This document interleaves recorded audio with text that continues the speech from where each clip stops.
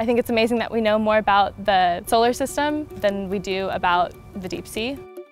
I've been really interested in this research because I have so many questions about the ocean and about the deep sea. And I guess I'm just really motivated by those questions that can be answered. My name is Emma Saso, and I'm part of the Pitzer class of 2019, and I'm studying biology.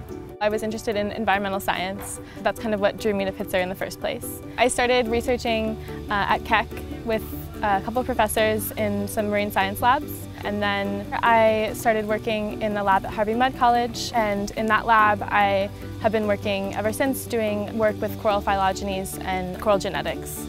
I had the opportunity to go on a research cruise in the Gulf of Mexico, and so that was uh, part of a project that is studying the distribution of deep water corals along um, different ecological gradients. It was a really, really neat experience. I was able to go on a boat with eight other researchers and an ROV team, a remotely operated vehicle team, for a week. And what that looked like was we were launching the ROV in the morning to take pictures, record video, collect uh, samples of corals, um, which we then will bring up to the surface and use them for like genetic studies in the lab.